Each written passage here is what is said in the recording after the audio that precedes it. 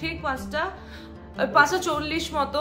And আজকে আমাদের destination কি? একটু সব বলে ডেস্টিনেশন হচ্ছে এখান থেকে মানালি মানালি আজকে ডেস্টিনেশন আজকে আমাদের কত কিলোমিটার কভার করতে হবে? Five thirty three kilometre cover করতে ওকে চলো আর ব্লগটা দেখতে থাকো।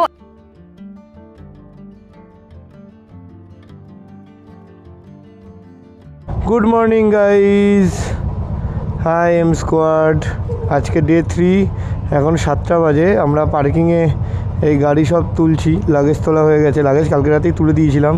এই যে তোমাদের মঞ্জিমা, এটা বাইকে উঠে পড়। এটা বাইকে উঠে পড়। এই যে। Day three guys good morning again day three start আমরা দিল্লি থেকে বেরিয়ে পড়লাম। তার মধ্যে আমার গাড়ির ট্যাঙ্কিটা হালকা নড়ছে, আমি জানি না কত দূর অবধি কী হবে। মানালিতে গিয়ে গাড়িটা পুরো কালকে চেক আপ করাবো। দিল্লি থেকে বেরোতে গিয়ে রীতিমতো ফাটবে, রীতিমতো। এখন বাজে সাড়ে সাতটা, আর এখান থেকে five hundred twenty nine kilometre Manali. চলো, দেখি কতটা যাওয়া যায়। চণ্ডীগড় তো ইচ্ছে আছে two seventy four kilometre but হবে না এদেরকে নিয়ে টু সেভেন্টি ফোর কিলোমিটার একবারে। একটু হোল্ড হোল্ড করে করেই যেতে হবে। কালকে আমার আমার আর পূজার দুজন কমন ফ্রেন্ড এসেছিল, ঋষি আর ওর গার্লফ্রেন্ড তো ওরা কালকে আমাকে লাগেজ বাঁধাতে প্রচুর হেল্প করে দিয়েছে। আমার বাইকের স্যাডেল কেরিয়ারটা বেঁকে গেছে লোডে বুঝতেই পারছ মঞ্জিমা, এত লাগেজ নিয়েছে, এত লাগেজ নিয়েছে মানে ধারণার বাইরে। তো আর কিছু লাগেজও রেখেও আসেনি। ফাক ফাক ফাক এই আপ ডাউনগুলো আজকে। এ, প্রীতম দা, আগে বেরাচ্ছ তো? আপডাউনগুলো আজকে আমাকে বলবে, না তো কিন্তু পুরো আমার গাড়ি আজকে সে যাবে না, আর এগোবে না। ময়ূর বিহার ফ্লাইওভার আমরা ধরবো। ময়ূর বিহার ফ্লাইওভার এখান থেকে ওয়ান পয়েন্ট সিক্স কিলোমিটার ওখান থেকে কেএমপি ধরে একদম সোনিপথ পানিপথ হয়ে চণ্ডীগড় অবধি যাব। তো এটাই আপাতত প্ল্যান একটু লেট করেছি আমরা আজকে বেরোতে, কারণ এই দুদিন যা টাফ জার্নি হয়েছে, প্রীতম দা একটু হালকা টানো না? যা টাফ জার্নি হয়েছে আমাদের, তো আজকে একটু রেস্ট নিয়েই বেরোলাম। আজকে বউকে সাথে পেয়ে গেছি, আলাদাই একটা পাওয়ার এনার্জি চলে এসছে আমার মধ্যে। দেখো, দিল্লি দেখাচ্ছে সোজা। দিল্লি দিল্লি। আমাদের রাইট সাইডে লালকেল্লা এইদিকে কিন্তু সেটা দেখা যাচ্ছে না এখান থেকে হাই রোডটা ধরো না খুব টাফ আমি জানি না ওরা কি করে এখান থেকে হাই রোড দেখলো যে কাছে মানে মেন রোডটা একটু টাফ বেরোনো পুরো গোল করে নিচে নামালো এবার নিচের রাস্তাটা ধরতে হবে নিচের রাস্তাটা বাদিকে ধরবো হ্যাঁ हाय सब्जी गुड मॉर्निंग सब्जी सब्जी यहाँ से पेट्रोल पंप मेरे को कितने किलोमीटर में मिलेगा पता है कुछ पेट्रोल पंप कितने किलोमीटर में मिलेगा पेट्रोल पंप हाँ मतलब मेरे को मनाली जाना है अभी तो कहाँ कितने दूर तक पेट्रोल पंप मिलेगा मुझे I S B T pump मतलब वो मनाली रूट में ही है ना मनाली रूट में नहीं है। दादा ना हाँ हाँ हाँ टाउन के अंदर ही টাউন কে अंदर है थोड़ा सा अंदर ज़्यादा আচ্ছা চলো টাউনের ভিতরে আছে পেট্রোল পাম্প পেট্রোলটাকে ভরে নিই তারপর টাউন থেকে বেরোবো কোন রোডে ওই পাশে রোডে इधर चले जाओ सीधा हाँ कितना दूर आइए बत्ती पे जाओ सामने वाला बत्ती में ही पेट्रोल पंप है ना गुड मॉर्निंग दादा दीजिए दीजिए जाएगा और भी छोड़ दीजिए আর আমি ব্যাগটা দেখবো হ্যাঁ লোড রাখ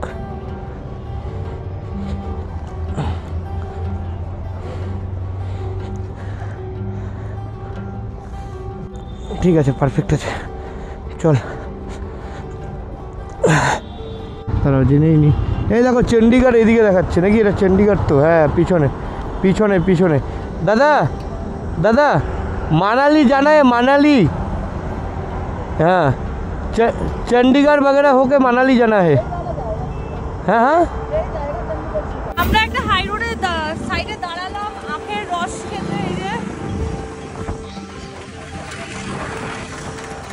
দীপ এদিকে ব্যাটারি খুঁজছে ব্যাটারি শেষ হয়ে গেছে। তুই কি বুঝতেই পারিস নি কখন শেষ হয়ে গেছে। ও তো ওর সাইডটা দেখাচ্ছে বাট আমি আমার সাইডটা বলি আমার আর অন্তরাদির প্রবলেম হচ্ছে? খুব একটা কিছুই প্রবলেম হচ্ছে না যতটা ভেবেছিলাম। জাস্ট আমাদের একটু যেহেতু ব্যাক পেন এক্স্যাক্টলি যেহেতু ব্যাক পেন আছে ওটা নিয়ে জাস্ট একটু সমস্যা। ঠিক আছে সব? চোখ ঠিক আছে? তোমার পোকা ঢুকে গেছে ছিল যে? প্রীতমদার চোখে পোকা ঢুকে গেছিল।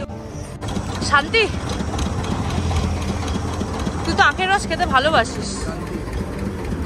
একটা গ্লাস চল্লিশ টাকা। প্রাণ ফিরে এলো রে। অল রাইট তো তোমরা এবার আমার ভিউটা দেখবে কারণ অনেকক্ষণ দ্বীপকে ডিস্টার্ব করা হয়েছে। এবার আমি কথা বলব তোমাদের সাথে।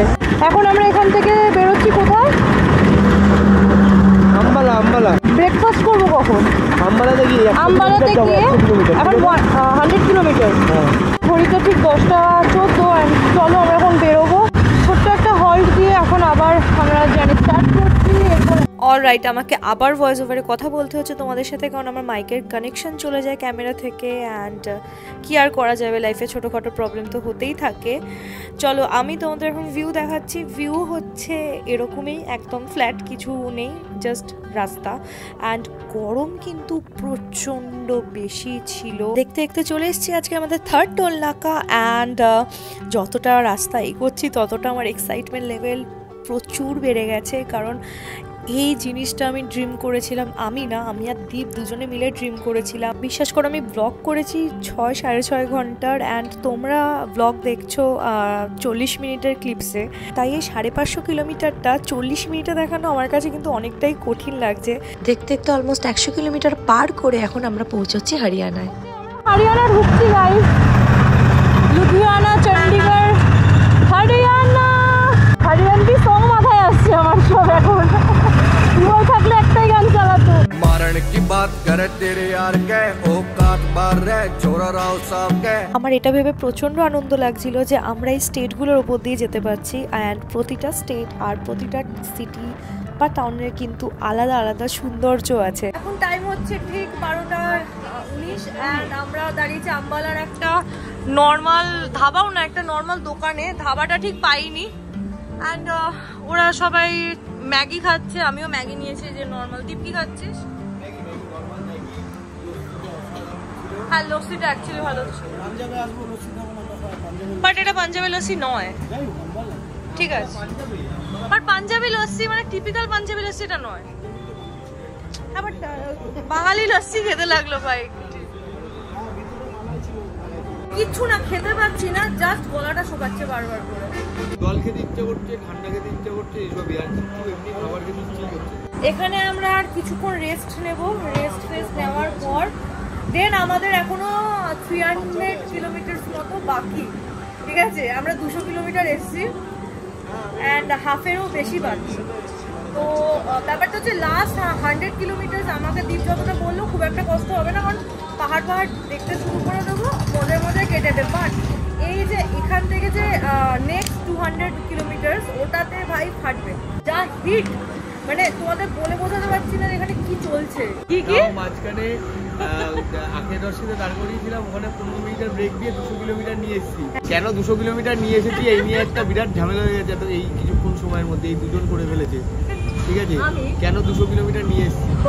আমাদের জল শেষ হয়ে গেছিল। আমি তোকে বারবার বলছিলাম যে আমি ডিহাইড্রেট একটা কথা মানে তোমাদের সাথে শেয়ার না করলেই নয়, এই যে বেল্টটা ব্র্যান্ডটা দেখে আমি উল্টো করেছি সাইডোর ব্র্যান্ডের আর প্রোনাউন্স যদি ভুল হয়ে থাকে, আমি পিকচার দিয়ে দেবো নিচে, এইদিকে। ভাই সাব, এটার জন্য আমি বেঁচে আছি, বুঝতে পেরেছ? এটা তো আমি হাইলি রেকমেন্ড করব, যাদের ব্যাক পেন নিয়ে সাফার করছ আর তোমরা যারা রোড ট্রিপ করবে প্ল্যান করছ ব্যাক পেন আছে, বা এরকম সমস্যা আছে, তো তাদের জন্য এটা বেস্ট আমরা রেডি অ্যান্ড আমরা এখন বেরোবো। সব কিছু গেট আপ করলাম। জল নিয়ে নিয়েছে এই জলটা জাস্ট এখন আমরা আমাদের গায়ে ঢাললাম যাতে একটু ঠান্ডা লাগে লাইক এই হাতা ফাতাগুলোতে অনেকটা রিলিফ ফিল হচ্ছে। সবাই এখানে গায়ের মধ্যে ঢেলেছে জল।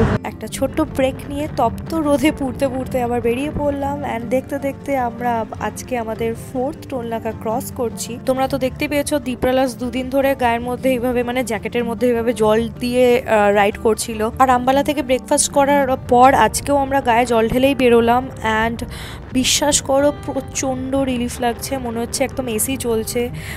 এতটা রোদের, এতটা তাপ এটা আমাদের ফিল হচ্ছে না। এবার আস্তে আস্তে আমরা ঢুকছি চণ্ডীগড়ের দিকে। এখান থেকে চণ্ডীগড় টোয়েন্টি কিলোমিটার্স মতো।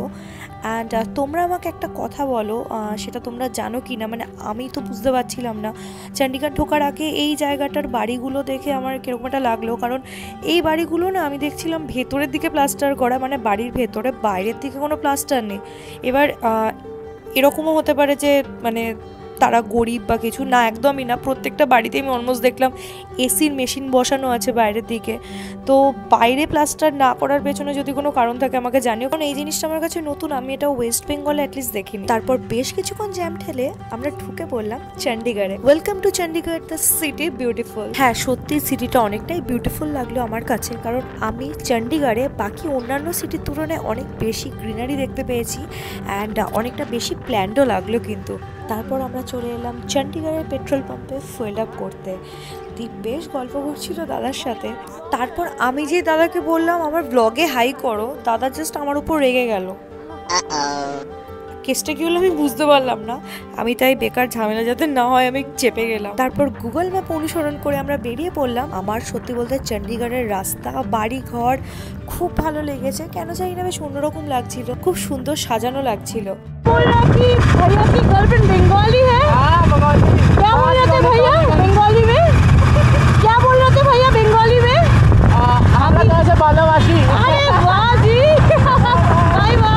বাংলায় ব্লগ করছিলাম অ্যান্ড ভাই তখনই সাথে সাথে পেছন থেকে এসে বলে যে বাঙালি বাঙালি, আম- আমরা বললাম যে হ্যাঁ তখনই ভাই বলছে যে আমি তোমাকে ভালোবাসি। এবার আমরা সেটা শুনে চণ্ডীগড়ে আমরা শুনে তো অবাকই হয়ে গেছি। দেন ভাই জানায় যে ভাইয়ের গার্লফ্রেন্ড বেঙ্গলি অ্যান্ড সেটা শুনে আমাদের বেশ ভালো লাগল। অ্যান্ড এরকম রাস্তায় কিন্তু মানুষজন পেলে রাইডের মজাটাই আলাদা হয়ে যায়। তারপর চলে আসে আমাদের ফিফথ টোল নাকা। ফিফথ টোল নাকা ক্রস করে আমরা সামনে গিয়ে একটু হল্ট নিই, কারণ আমাদের প্রচণ্ড জল তেষ্টা পেয়ে গেছিল আর আমাদের কাছে জল শেষ হয়ে গেছিল। দাঁড়াচ্ছি ওকে, আমি একটু দাঁড়া ওকে।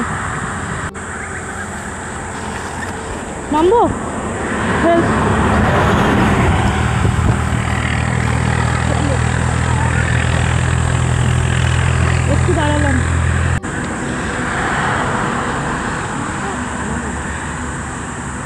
সাবধান। আস্তে আস্তে আস্তে। এক্সপিরিয়েন্স কি? যাওয়া যাবে তো? হয়ে যাবে? এনার্জি আমাদের মধ্যে ভরপুর কিন্তু, বুঝতে পেরেছ? কি? রে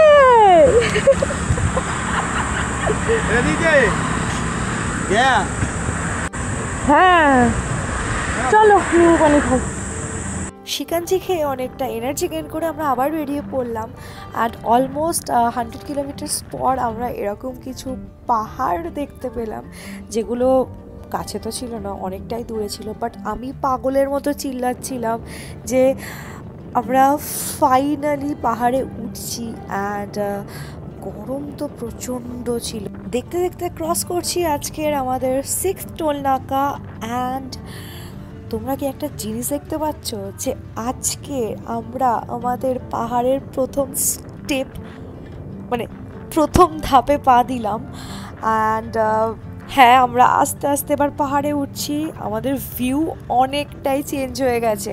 দিনের শুরুটা করেছিলাম দিল্লির ওই ভিড়ভাট্টা দিয়ে বাট এখন আমাদের ভিউটা কিন্তু পুরোটাই চেঞ্জ এতক্ষণ ধরে তো আমরা টোলনাকা ক্রস করছিলাম বাট ফাইনালি ফাইনালি আজকে আমরা এখন আমাদের ফার্স্ট টানেল এন্ট্রি নিচ্ছি। আমার তো এতটা এক্সাইটেড লাগছিল অ্যান্ড আমি পাগলের মতো চিল্লাচ্ছিলাম টানেলের এন্ট্রি নিয়ে। অ্যান্ড দীপও প্রচণ্ড হ্যাপি হয়ে গেছিল অ্যান্ড আমি জানি না কেন, আমাদের প্রচণ্ড ভালো লাগছিল। অ্যাকচুয়ালি মান্ডি ঢোকার আগেই প্রচুর টানেল ছিল পরপরই। তো ফার্স্ট টানেল থেকে বেরিয়ে আমরা চলে এলাম সেকেন্ড টানেলে আর একটা কথা না বললেই নয়, আমরা যতবার টানেল ক্রস করছিলাম, আমাদের ভিউ কিন্তু আপগ্রেড হচ্ছিল। মানে আরও ভালো হয়ে যাচ্ছিল। আর যেটা হয়েই থাকে, পাহাড়ি রাস্তা দিয়ে যাব আর পাশ দিয়ে কোনো নদী যাবে না, এটা তো হতেই পারে না। আর আমাদের পাশ দিয়ে যে নদীটা যাচ্ছে, সেই নদীটার নাম হচ্ছে সুতলেজ রিভার এখন তো নদীটা দেখতেই পাচ্ছ যে অলমোস্ট প্রায় শুকিয়ে আছে, কিন্তু আমার দেখে যা মনে হচ্ছে নদীটা কিন্তু বর্ষাকালে একটা অন্যই রূপ নিয়ে নেয়। দেখতে দেখতে আমরা আজকে আমাদের থার্ড টানেল ক্রস করছি আর আমার একটা হিউজ প্রবলেম যেটা আমি অন্তরাদির সাথে শেয়ার করছিলাম বাট দীপকে বুঝতেও দিইনি, সেটা হচ্ছে আমার ব্যাক পেন একটা হিউজ লেভেলে স্টার্ট হতে থাকে। অ্যান্ড ডক্টর আমার এই এরকম কিছু সিচুয়েশনের জন্য আমায় এমার্জেন্সি পেন কিলার দিয়েছিল, যেটা আমায় বলেছিল যে খুব প্রচণ্ড বেশি পেন হলে তখনই তুমি খেও তাই ভেবেছিলাম যে মান্ডিতে গিয়েই আমি একদম হল্ট নেব অ্যান্ড সবাই মিলে একটু রেস্ট নেব অ্যান্ড আমি ওষুধটাও খেয়ে নেব। ওগুলো ভাবতে ভাবতে এগোচ্ছিলাম অ্যান্ড দীপ আর আমি তারপর নোটিস করলাম যে প্রীতম ধারা অনেকটাই পেছনে আছে। অ্যান্ড সামনের বোর্ডে তোমরা তো দেখতেই পাচ্ছ জায়গাটার নাম হচ্ছে ভাড়াডি। তো ভাড়াডিতে আমরা প্রীতম দাদের জন্য ওয়েট করলাম। এটা আমার কিছুটা সিচুয়েশন ওই তো প্রীতম দাঁড়া আমাদের মিডিলের ডিস্টেন্স এতটা হয়ে গেছিল যে কানেকশন লস হয়ে গেছিল ইন্টারকমের মধ্যে। তো সেগুলো আমরা ঠিক করলাম। আমার মুখটা দেখতে পাচ্ছ? এই এরিয়াটা লাল হয়ে গেছে আর আমার আমারও ঠোঁট ফাটতে শুরু করে দিয়েছে। হ্যাঁ? তোদের কানেকশন নেই? না কানেকশন আস্তে আস্তে আমাদের সূর্যি মামা অস্ত হওয়ার পথে আর তোমরা দেখতেই পাচ্ছ সামনের ওয়েদারটা কিন্তু খুব খারাপ হয়ে গেছে। আমরা খুব টেনশনে পড়ে গেছিলাম। খুব না, অল্প একটু টেনশনে পড়ে গেছিলাম কারণ আমরা চাইনি যে এরকম ফার্স্ট ডেতে আমাদের তো ফার্স্ট ডে ছিল আমার আর অন্তরাদি আর আমাদের ফার্স্ট ডেতে এরকম কিছু এক্সপিরিয়েন্স হোক যে বৃষ্টি বৃষ্টি পড়ছে এরকম, কারণ আমাদের এখনও অনেকটাই জার্নি বাকি। আমরা চাইনি যে এরকম বৃষ্টি বৃষ্টি হয়ে জ্বরফর না হয়ে যাক। আর তার সাথে সাথে চলে এসছে আজকে আমাদের ফোর্থ টোলনাকা বলতে যাচ্ছিলাম, ফোর্থ টানেল। আর একটা কথা না বললেই নয়, এই টানেলটা কিন্তু বাকি অন্য টানেল তিনটের তুলনায় অনেকটাই ভালো। আমার রাস্তাটা কিন্তু বেশ ভালো লেগেছে। খেয়েছে রে? আমি তো টানেল গুনছিলাম। টোল নাকা কোথা থেকে চলে এলো? আমি তো ভুলে গেছি এটা কত নম্বর টোল নাকা। গাইস তোমাদের যদি মনে থাকে তোমরা কমেন্ট করে জানাও যেটা কত নম্বর টোল নাকা। আর আমি এই গরমটা জাস্ট আর নিতে পারছি না। তোমরা এই ভিউ দেখে ভাবছ যে এবার আমরা হয়তো ভালো ওয়েদারেও চলে এসেছি। একদমই না। ভিউ হয়তো ভালো হচ্ছে বাট ওয়েদার তো কোনো চেঞ্জই নেই। জাস্ট একটু ঝোড়ো হাওয়া দিচ্ছিল, তোমরা দেখতে পাচ্ছ সাইড থেকে এরকম ধুলো ঝড় উঠছে। আর এই যে আমাদের ফিফথ টানেল অ্যান্ড তারপরই আমাদের ফেস করতে হয় রিয়ালিটি যেটা আমাদের পুরো মানালি অবধি ফেস করতে হয়েছে। তোমরা দেখতেই পাচ্ছ একটা হিউজ জ্যাম অ্যান্ড সেটাও মান্ডির আগে থেকে। অ্যান্ড এই গাড়িগুলো যে কটা তোমরা গাড়ি, বাস দেখতে পাচ্ছ, এগুলো সব যাচ্ছিল মানালিতে। তোমরা বুঝতে পারছ তাহলে কি অবস্থা? এরকম জ্যাম আমরা পেয়েছিলাম একটানা কুড়ি থেকে তিরিশ কিলোমিটার মতো। আর তোমরা ওয়েদারটা জাস্ট দেখো, অসাধারণ লাগছিল। এরকম দূরে পাহাড় আর এরকম ওয়েদার তার সাথে সাথে সূর্য ডুবছে আর আমরা একটা সুন্দর বাঁধ ক্রস করছিলাম।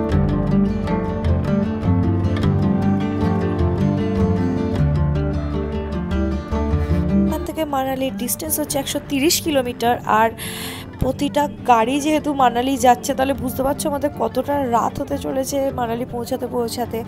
সেসব কিছু ভুলে গেছিলাম, এই জাস্ট ভিউটা দেখে এরকম অন্ধকার হয়ে গেছিল পুরো আকাশটা। প্লাস এইদিকে সূর্য অস্ত যাচ্ছে, তার সাথে এই ভিউটা জাস্ট দুর্দান্ত লাগছিল। আমরা এখন মানালি থেকে ওয়ান থার্টি কিলোমিটার দূরে আছি। অ্যান্ড এরকম কিছুটা সিচুয়েশন এই যে এদিকে দেখো। মানে আমার ফেস দেখে বুঝতে পারছ? এই যে প্রীতমদা দেখো জামা কাপড় খুলে ফেলেছে সব। আর ওই যে দীপ বাড়িতে ফোন করছে। এখন আমি ফেসটাকে মুছবো। আমি একটা জিনিস তোমাদের সাজেস্ট করব, যে এই সিজনে যদি যদি মানালি আসার চেষ্টা করো প্লিজ করো না। এটা নোংরা উঠছে দেখো। তোমরা যদি লাদাখ যাও, লাদাখ তোমরা অন্য অন্য জম্মু রাস্তা ধরে যাও, এই রাস্তা ধরে মানালি যেও না। ওয়ান থার্টি কিলোমিটার দূরে আছি। এই জ্যাম ধরে আমাদের যেতে হবে, বাড়ি পৌঁছাতে মানে সরি হোটেল পৌঁছাতে পৌঁছাতে বেঁচে যাবে রাত নটা সাড়ে নটা।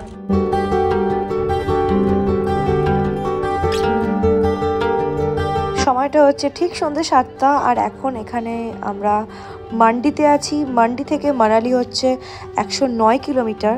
আর আমাদের কাছে এটা একটা প্লাস পয়েন্ট যে সাতটা বাজে অ্যান্ড এখনও সূর্যের আলোটা আছে।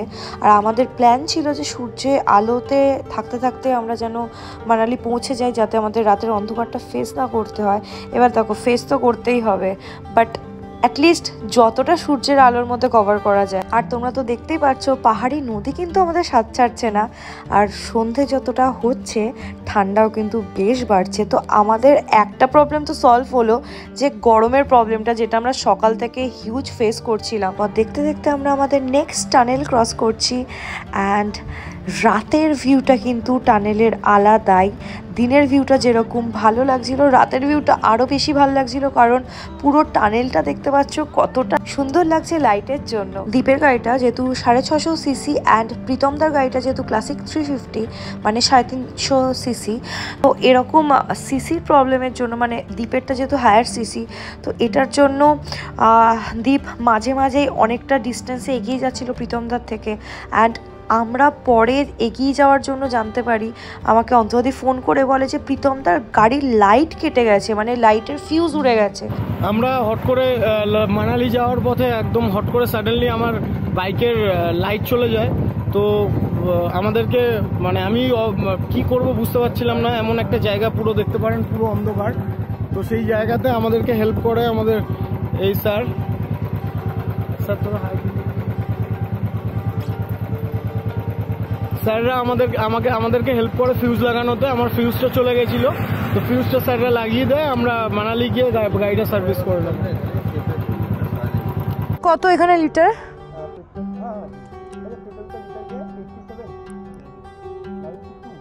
নাইনটি টু লিটার না আমরা এরকম একটা রাস্তায় দাঁড়িয়ে আছি যে প্রীতম অন্তরাদি অলমোস্ট ডেড এখন জাস্ট হোটেল যেতে পারলে বাঁচি, বুঝেছ তো? তোর কত টাকার পেট্রোল লাগল? হ্যাঁ? না না টোটাল না এইখানে। আচ্ছা আচ্ছা। আর ইয়ে এখান থেকে ডিস্টেন্স কতটা? আমাদের মানালি দেখাচ্ছে। আর ফোর লেন আছে। ও আচ্ছা হ্যাঁ এটা বলে দিল ওরা ফোর লেন আছে। ওকে একটা টোল নাকা ক্রস করছি আমরা। আই হোপ এটা যেন আমাদের লাস্ট টোল নাকা হয় আজকের। ঠান্ডা কিন্তু বেশ লাগছে এবার, বেশ মজা লাগছে ইয়েস অন্তরাদি বলছে, এবার আমরা ঠান্ডায় জমবো। আর আমি কেন এরকম তুতলে তুতলে যাচ্ছি জানো? তোমাদেরকে বলছি কি হয়েছে আমার না গালটা এতটাই প্রেশার আছে হেলমেটে বারবার চিপা লেগে লেগে দাঁতের মধ্যে গাল কেটে যাচ্ছে, ঠিক আছে? আর আমার গালটা জাস্ট কেটে কেটে যাচ্ছে একবার অবশ। তো জন্য আমি তুতলে তুতলে কথা বলছি। Manali fifty eight Leh four eighty five আর কাসলটা দেখা হলো না। আমি জানি না কতটা দেখা যাচ্ছে বাট এই ভিউটা জাস্ট চোখে যেটা দেখছি না, অসাধারণ লাগছে। পুরো না কিচ কিচ কিচ কিচ করছে লাইট অ্যান্ড মনে হচ্ছে অনেক দূরে প্রচুর টুনি লাইট একসাথে জ্বলছে। আমি জানি দেখাই যাচ্ছে না, তাই আমি দেখানোর চেষ্টাও করছি না, তোমরা বেকার বোর হবে, ভাবে কি ফালতু বকছি। Manali forty eight Kullu eight kilometre Kullu আমরা অলমোস্ট চলে এসেছি। অ্যান্ড মানালি মাত্র ফর্টি এইট কিলোমিটার ও ভাই, যত এগোচ্ছি মনে হচ্ছে আমি কখনোই বিছনাটা একটু শোবো অ্যান্ড দেন সকালে উঠে আমি ভিউ দেখব। ফাইনালি এসেছি ভাই। বা- মানে হোট, বাড়ি বাড়ি বলছি বারবার, হোটেল যাই, তো আমার, তারপর তোমাদের কষ্টের কথা বলছি আমার আপাতত আমার এই দেখে খুব শান্তি লেগেছে যে আমরা মানালি চলে এসেছি। ইয়াস এটা কিছুটা ভিউ আর আমরা অলমোস্ট চলে এসেছি হোটেলে আর মাত্র কিছু মিটার্স বাকি। অনেকটা উঁচুতে কিন্তু হোটেলটা বাহ, এখানে মার্কেটও আছে সুন্দর। দেখো সুন্দর মার্কেট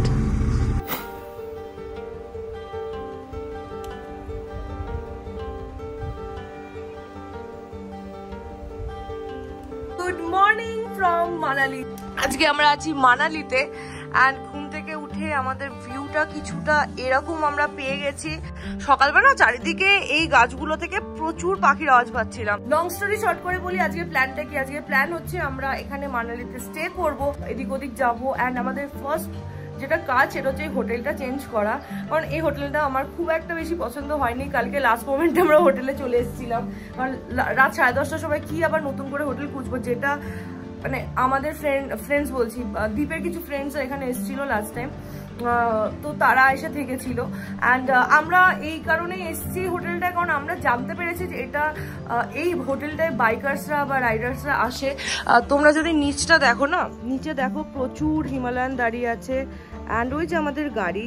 কালকে আমাদের সাথে যা হয়েছে, আমি জানি না ব্লগে আমি কতটা তোমাদের দেখাতে পেরেছি মানে অফ ক্যামেরা তো প্রচুর প্রচুর প্রবলেম হয়ে গেছিল আমাদের। আমি সেই সময় ক্ষমতা ছিল না ব্লগ করার। কালকে কি হয়েছিল শোনো? রাত সাড়ে দশটার সময় আমরা মানালি পৌঁছাই। অ্যান্ড মানালি পৌঁছে মানালি পৌঁছানোর ফর্টি ফাইভ কিলোমিটার আগে থেকে আমার huge like huge back pain শুরু হয়। অ্যান্ড তোমরা তো দেখেছ আমি কিছুই খাইনি সারাদিন কালকে। কিছুই না নাথিং ম্যাগিটা সকালের, সেটাও খাইনি। তো কি হয় খালি পেটে এতটা পেন হয় তো ওটার জন্য মাথা ঘুরতে শুরু করে।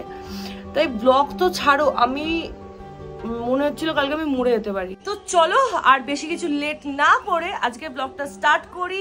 এই যে কিছুটা আমাদের রুমের সিচুয়েশন এই যে টেল ব্যাগটা আমাদের কালকে অনেক প্রবলেম করেছে, এটা আমরা আজকে এখানে রেখে যাব। কালকে লাদাখ বেরোনোর সময় এটা এই হোটেলেই থাকবে। অ্যান্ড বাকি আমরা এই দুটো স্যাডেল স্যাডেল ব্যাগ নিয়ে যাচ্ছি। তো তার জন্য আমরা লাগেজ কমাচ্ছি। একটা দুটো জামা কাপড় এনেছিলাম, সেগুলোও রেখে দিচ্ছি। মানে কি আর বলব? Good morning good morning guys আজকে ওয়েদারটা না জাস্ট দেখো। কিছুক্ষণ আগে রোদ ছিল আর এখন মানালিতে এরকম বৃষ্টি। আর আমরা খাব পাহাড়ওয়ালি ম্যাগি। তারপর ওরা যাবে তোমরা কোথায় যাচ্ছ আজকে জানো গাড়ির? করব। আর টাইম লাগবে। আর আমি আর ও ঘুরতে বেরোবো আজকে। আজকে আমাদের বেরোনোর কথা ছিল বাট আমরা বেরোতে পারলাম না। কালকে এতটা লেটে এসেছিল আমার শরীরটা একদম জাস্ট খারাপ হয়ে গেছিল। অ্যান্ড দ্বীপ পাস করাতে গিয়ে জানতে পারল যে আমাদের পাস সেভেন সেভেন থেকে একটু বলবি এটা এই ব্যাপারটা? পাসটা আমি নিজেই করলাম অনলাইনে অনলাইনে তোমরাও করতে পারবে। কীভাবে? দেখিয়ে দেবো। অনলাইনে একটা আমি লিঙ্ক দিয়ে দেবো। ওই লিঙ্কে গিয়ে নর্মাল ফিল আপ করবে টাকা পেমেন্ট করবে ও শুধু প্রিন্ট আউটটা করে নেবে ঠিক আছে? তো ওইটাই পাস আলাদাভাবে কোনো বাইক মানে কারোর উপর ডিপেন্ড হতে হয় না। না না না কারোর উপর ডিপেন্ড করতে হয় না। আমরা চারজনের পাস করেছি। আর তোমাকে যে জায়গাগুলো সিলেকশন নেবে পুরো লাদাখটাই সিলেক্ট করে নেবে। ওর জন্য আলাদা আলাদা কোনো চার্জেস নেই। আমাদের চারজনের পাস করতে বাইশশো সামথিং কত টাকা খরচা পড়েছে বাইশশো সামথিং মতো পড়েছে তো ওটা তোমরা অনলাইনে নিজেরাই করতে পারবে। আমি এখন যখন সকালে পাস করলাম আজকে চার তারিখ তো আমাদের পাস হয়েছে হচ্ছে সাত তারিখ থেকে স্টার্ট হয়েছে। মানে পাঁচ ছয়ের কোনো পাস নেই। মানে অ্যাভেলেবেলই নেই? না মেবি হয়তো পাঁচ ছয় আহ, ওই হয়তো বন্ধ আছে বা কিছু আছে যাই হোক বা দিচ্ছে না পাঁচ ছয় ছিল না। আমরা কালকে রাতেই ডিসাইড করেছিলাম যে আজকে থেকে যাব কারণ আজকে গাড়ির ইয়েগুলো সার্ভিসিং করব। ঠিক আছে? ব্রেকফাস্ট কিছুটা এরকম ইয়ামি লাগছে ও বলছে হেভি নাকি খেতে হয়েছে। অসাধারণ না? পাহাড়ের ম্যাগি এটা ভাই আর কি হতে পারে? এটাই ভালো। তাই না? পাহাড়ের ম্যাগির আগে কিচ্ছু হতে পারে না। এটা হচ্ছে এক্সট্রা গ্রিন চাটনি এটার সাথে পুদিনা আছে আর এটা একদম রেড চাটনি আমি এই নিয়ে সেকেন্ড টাইম চা খাচ্ছি আর এটা প্রীতম দাস চাউমিন অর্ডার করেছে। আমরা এখান দিয়ে উঠছি। আমাদের মনে হলো একটু ট্রেকিং করতে ইচ্ছা করছে তাই আমরা উঠছি। কিছুই না। সারাদিন বাড়িঘর দেখি তো আমরা। এইসব দেখে পাগল হয়ে যাই। আমরা ওই জায়গাটা যাচ্ছি।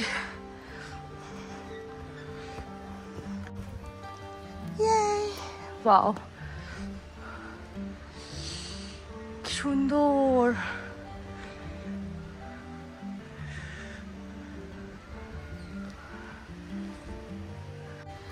কে বলেছিল উঠবো না? আর কে আগে যাচ্ছে? হ্যাঁ? দেখেছিস? সেটাই হয়।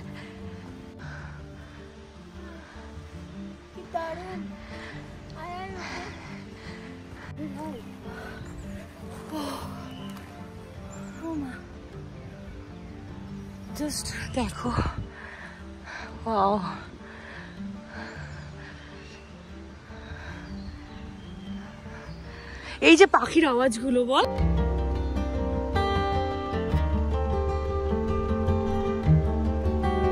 অনেক কষ্টদের পর আমরা আবার নিচে যাচ্ছি। মানে আমাদের এই রুমটা ছাড়তে হবে।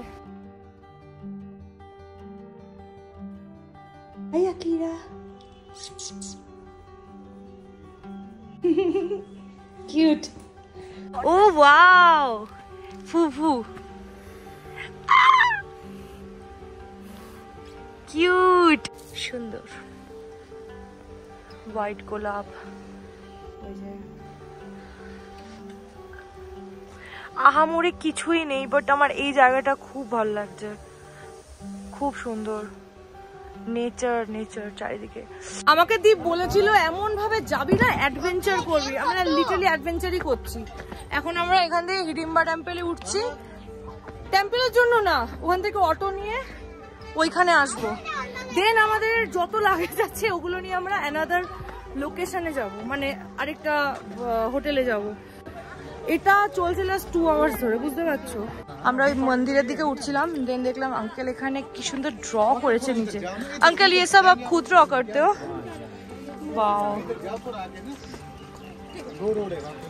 আমি ওখান থেকে যে ফ্রিজ ম্যাগনেট নিলাম ভুট্টাটা বাদ দাও, এই যে। ফাইনালি আমরা একটা অল্টো পেয়েছি, যেখানে আমরা লাগেজগুলো নিলাম গাড়ির ভেতরে সিচুয়েশন এই যে হেলমেট দে এই নে आगे डाल दें हाँ डा पैर के पास डाल दीजिए इधर रेडी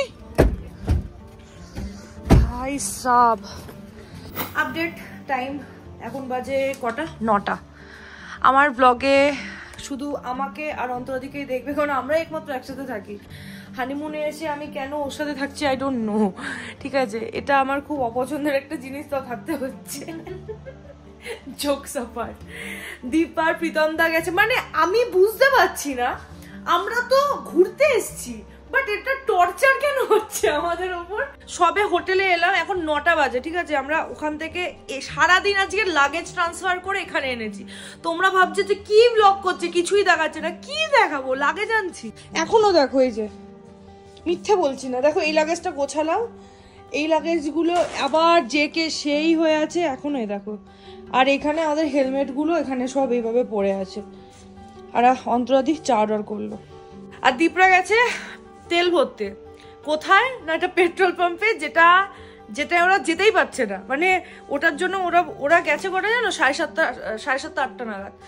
অ্যান্ড এখন নটা বাজে। এখনও পেট্রোল পাম্প থেকে আসতে পারিনি। তার মানে বুঝতে পারছ কি অবস্থা মানালিতে?